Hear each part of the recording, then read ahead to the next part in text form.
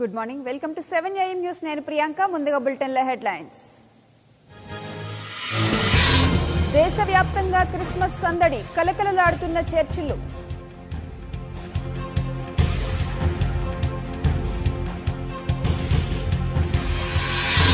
Europe పర్యటనలో Pawan Kalyan Christmas శుభాకాంక్షలు తెలిపిన జనసేనాని.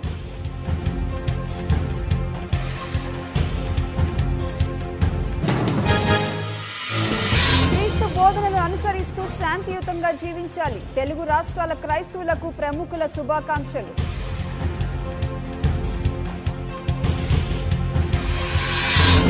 వైసీపీ ప్రజా సంకల్ప యాత్రకు ఇవాళ బ్రేక్. క్రిస్మస్ జరుపుకునేందుకు వెసులుబాటు.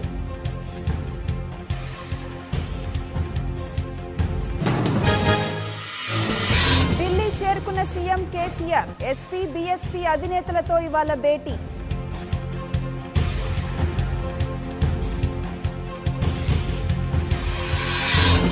సీఎంగా బాధ్యతలు చేపట్టిన తర్వాత కేసీఆర్ తొలి పర్యటన. ఇరవై ఆరు లేదా ఇరవై ఏడు తేదీల్లో మోదీతో భేటీ.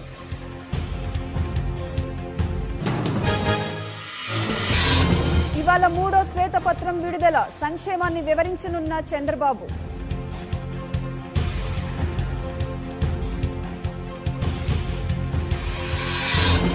గుణాత్మక మార్పు కోసం ప్రాంతీయ పార్టీలు ఏకం కావాలి. ఫెడరల్ ఫ్రంట్ ఏర్పాటే మా మిషన్ అన్న కేసీఆర్.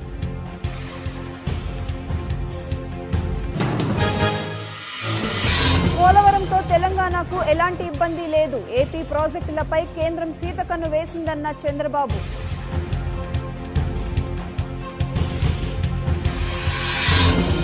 ఏపీలో రాక్షస పాలన సాగుతోంది. చంద్రబాబుపై నిప్పులు చెరిగిన జగన్.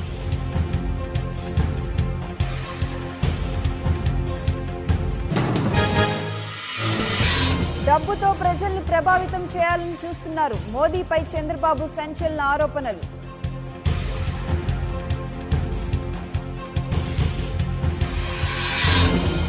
మీ బాధ్యత తీరింది మా బాధ్యత పెరిగింది. హామీల అమలుకు కార్యాచరణ రూపొందిస్తున్నామన్న హరీష్ రావు.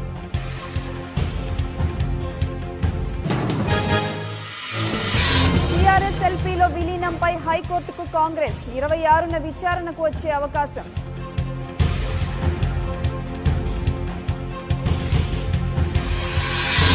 తెలంగాణలో పంచాయతీ రిజర్వేషన్లు ఖరారు. కొద్ది రోజుల్లో మోగనున్న ఎన్నికల నగారా.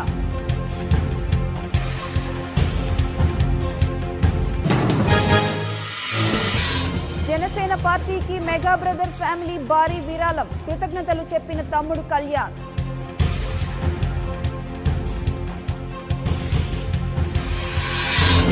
గెలుపు గుర్రాలపై జగన్ ఫోకస్. ఎంపీ స్థానాలు దక్కించుకునేందుకు ప్రణాళికలు.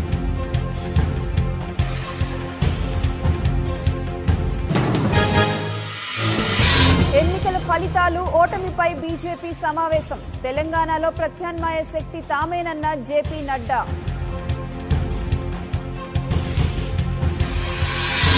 ముగిసిన రాష్ట్రపతి శీతాకాల విడిది వీడ్కోలు పలికిన గవర్నర్ హోంమంత్రి.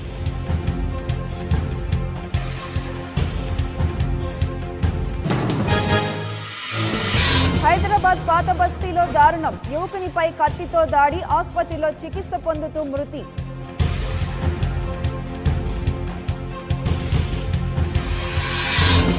మరింత సరళంగా జీఎస్టీ స్లాబులు మారుస్తామంటూ జైట్లీ సంకేతాలు.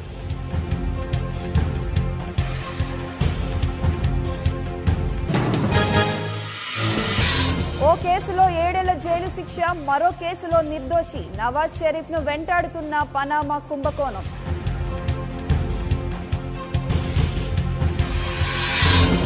జమ్మూ కాశ్మీర్ సరిహద్దుల్లో కాల్పులు. ఇద్దరు భారత సైన్యాధికారుల మృతి.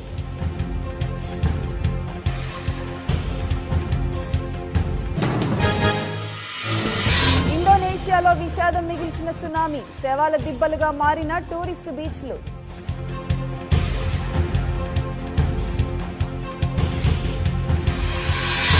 వీసా నిబంధనలపై విద్యా సంస్థల గుస్స కోర్టుకెక్కిన అరవై ఐదు అమెరికన్ విశ్వవిద్యాలయాలు.